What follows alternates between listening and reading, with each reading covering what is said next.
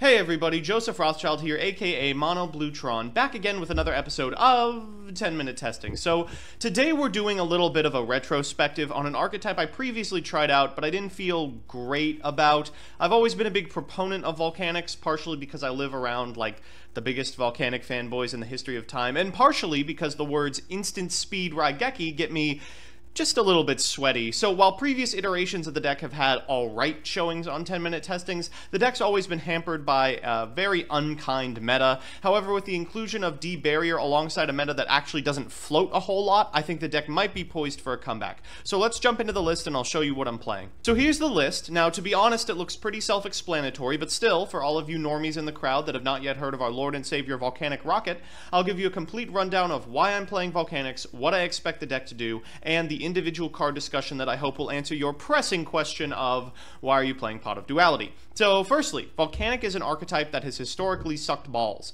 It revolved around use of a card called Blaze Accelerator, which is a continuous spell that allows you to send Pyros with 500 attack or less from your hand to the graveyard in order to destroy a monster on the field. With Volcanic Shell, you could destroy like three monsters, and with Volcanic Scattershot, you could Raigeki your opponent. However, because the deck relied on the use of a continuous spell, every MST in the format beat them. More importantly, while the ability to kill a creature of your opponent's for one card in your hand sounds cool, it doesn't really work out in practice. You have to draw the Accelerator, you gotta draw the Volcanic, and even then it only works once or three times if you're using Shell. Rocket helps, but, you know, not by a whole lot. Now, this all changed with the release of Blaze Accelerator Reload and Royal Firestorm Guards. Suddenly, you could dump a whole bunch of Volcanics for card advantage, and Firestorm Guards meant you could get a whole bunch of scatter shots off in one game.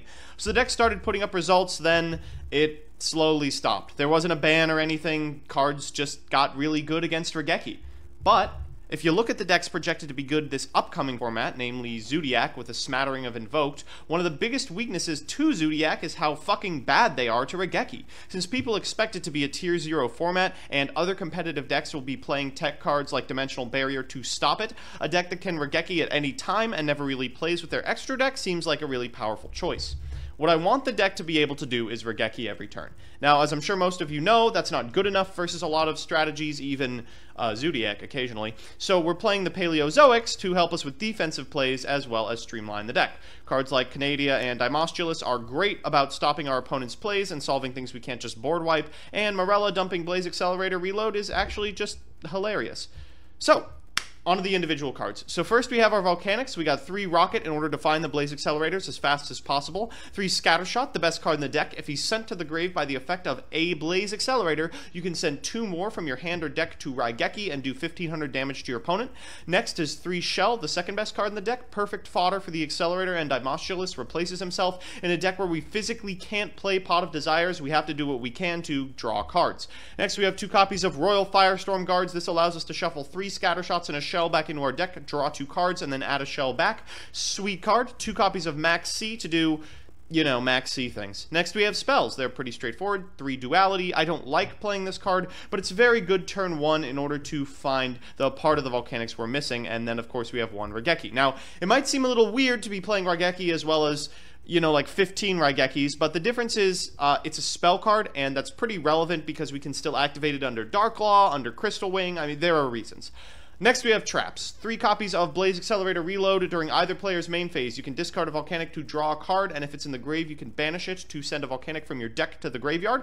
If you've got multiples of these, you can banish one to send Shell and start drawing, or usually you're banishing it to send Scattershot and blow them up. Our Paleo Suite is pretty straightforward as well. We have three Oleanades, the MST, three Dimostulus, the Karmacut, three Canadia, the Book of Moon, three Marrella, the Foolish Burial with Belongings, and one Pikaia, which is just awful. It draws you two cards, but more importantly, it bricks you all the time. Morello is specifically good in this deck because it can send an Accelerator and guarantee a Raigeki. Next, we've got three Reckless Greed, famously good in both Paleos and Volcanics. Three-Dimensional Barrier because we're little baby boys, and one Vanities, the only card worth playing. In the extra, we've got a lot of fours I doubt we'll ever really go into, and a lot of twos that we will. Now, keep in mind that the fours have a lot of different creatures that do a lot of damage. One thing about Volcanics is that sometimes they just end up accidentally accidentally doing like six or 7,000 points of damage, and in that case, a Utopia or an Xyz Dragon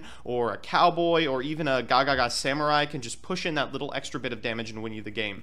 The twos are Anomaly Carrots, Opabinia, Tree Toad, and a Sky Cavalry who is doing his best impression possible of Castel. So with that, let's jump into the games. So our first matchup is Nekroz in 2017. Oh boy, and Jesus. I think the last time Nekroz was meta, Volcanics was playable as well. Can someone make a meme of Volcanic Rocket in a coma and the nurse says, You've just woken up from a three year coma, and Volcanic Rocket says, Oh boy, I can't wait to lose to Nekroz of Trishula again?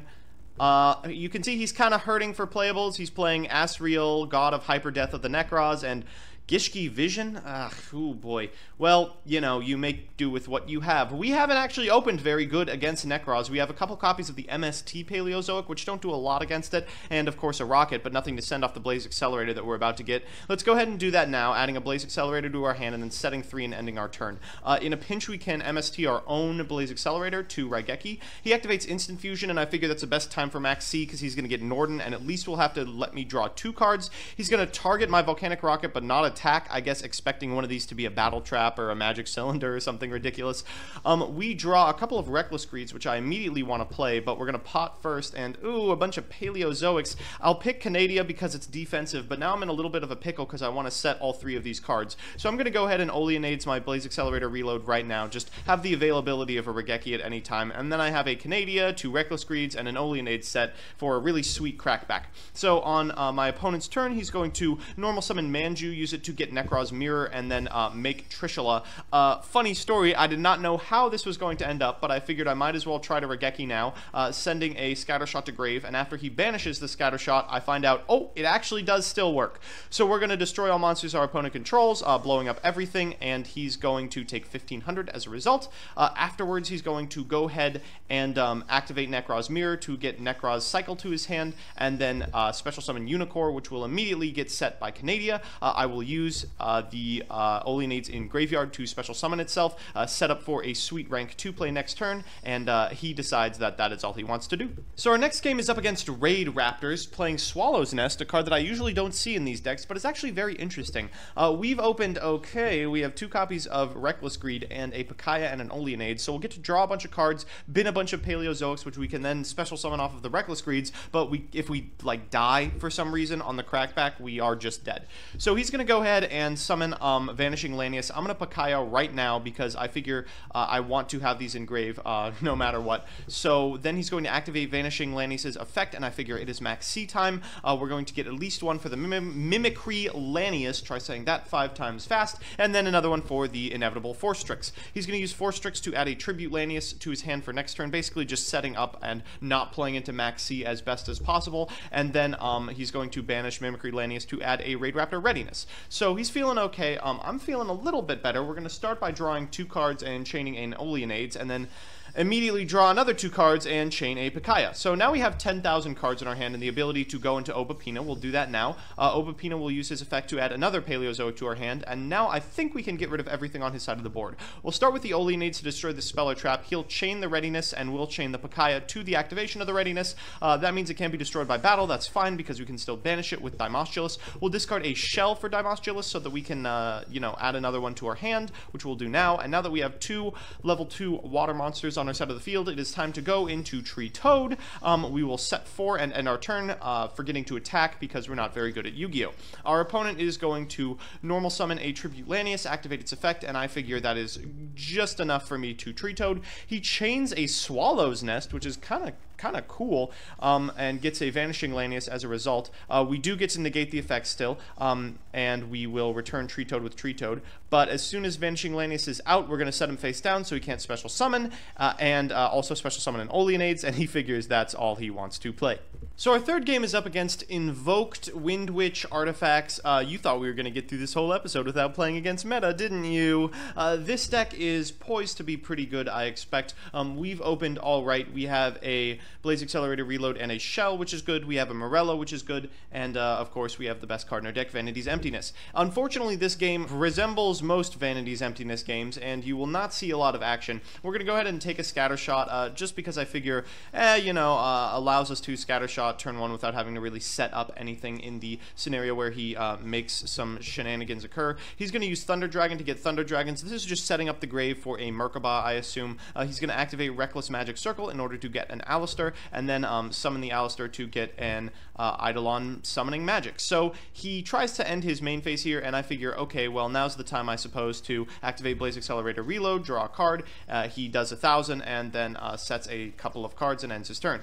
So we um, are going to take 500 to add another shell, immediately discard it. Remember, uh, if it's sent from hand to graveyard, it does not trigger Vanity's Emptiness, and we do get to keep it around. Uh, we're just going to hope that we draw into something. I have a bunch of draw steps to do it. He gets another Aleister and starts beating in for 2,000. That's not really what I want to see, but could be much worse. Um, we'll draw another card, and what do you know? It's Rocket. Rocket should be able to do what we want. He does not Solemn the Rocket, which is sweet, and then we'll start beating him up. So we do 900 there. Um, during his turn, he's going to ooh, basically just change to defense mode and pray for the best. Uh, we now are in vanities mode, where I am attacking every turn and hoping he doesn't do anything. I'm trying to do as little as possible in order to allow him to activate as little as possible in order to prevent any of my cards from dying as much as possible. So at this point, I figure his only out is probably a Raigeki or like a Twin Twister or something, and I don't know how many of them he plays. The deck seems like it has a lot of cards in it, and um, because it is playing Artifact Sanctum, uh, I can't imagine that it has a lot of room for like Twin Twisters or Raigeki or stuff like that.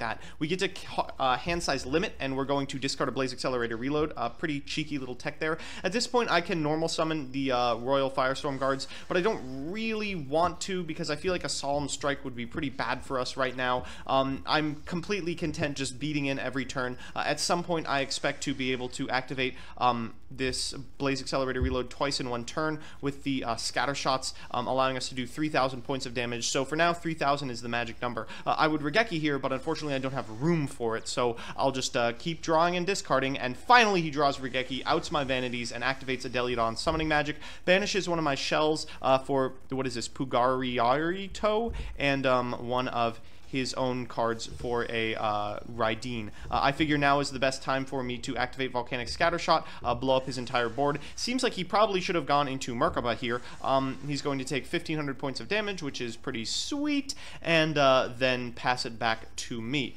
So, um...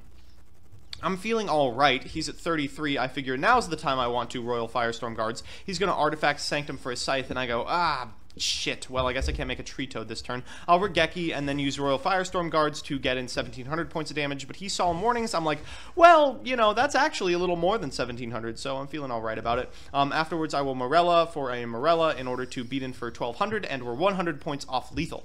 So I'm feeling alright right now. I figure I have a lot of scenarios in which I win this game. Uh, there are a couple where I don't. Uh, he activates Eidolon Summoning Magic, uh, then gets it back with the Aleister. Um, he's going to activate it again to get Ponario, and then once he attacks, I will flip Canadia and uh, special summon a Pikaia from my graveyard.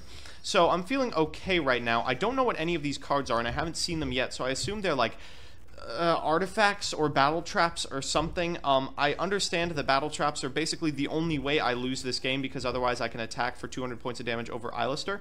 So I figure I might as well go into a Treatoad with a uh, 1200 backup, but then I realize I need the Treatoad to survive, and also I probably need a 1200 guy to survive, so I'll go into 4, which I do right now. Um, but in order to do that, I have to blind Oleanades, and what do you know, I hit Scythe. So that prevents me from going into Treatoad, and now I'm feeling like, oh, I guess I just have to attack and hope for the best, but thankfully the best does occur, and we win the game. So we're back with the deck. Oh, that last game was a bleeder, and I feel like if he or I had played it just a little bit differently, it could have been over a lot faster. But as far as this deck goes, I really like it. I think the deck isn't nearly optimal yet. I'm excited to see if people play around with it and what they come up with. Uh, I will say it suffers from a lot of the same problems that original Volcanics did, which is if you draw the wrong portions of your deck, you're kind of shit out of luck. I think the two uh, different archetypes, Volcanics and Paleozoics, complement each other very nicely instead of sort of playing against each other. Um, the dimension barriers were not great in our games, but we also weren't playing against the meta meta per se, except for that last game. It's certainly good against Zoodiac, it's certainly good against Invoked, and really that's all it has to be good against. Nice that it's chainable, we can activate it on our turn and go into ridiculous plays. Um, at the end of the day, games where we got to play the Paleozoic part of the deck felt very good, like playing the best of Paleozoic with the added option of being able to Raigeki. Um, the access to Raigeki really helped out a bunch of matchups that otherwise I think we would have had to grind through, and all in all, I'm really pleased with the results. If anything, I would say I was a little disappointed we didn't get to burn anyone out with repeated scatter shots and like maybe one of our rank fours or a cowboy or something. But, you know, you take what you can get. So that's that. I hope you enjoyed watching me try and milk more ad money out of an archetype I've already explored. I hope you enjoyed another episode in the endless quest of what beats Zoodiac, and most of all, I hope you just enjoyed the video. If you did, make sure to give me a like, a comment, or subscribe. It really helps me out. And if you want to see me play the decks I make on this show on stream, I am live on Twitch intermittently at the link below. It's twitch.tv slash monobluetron. Finally, if there's a certain deck or archetype you want to see me play on a future episode of this show, let me know in the comment section below, and I will do my best to accommodate you. Otherwise, I'll see you Thursday.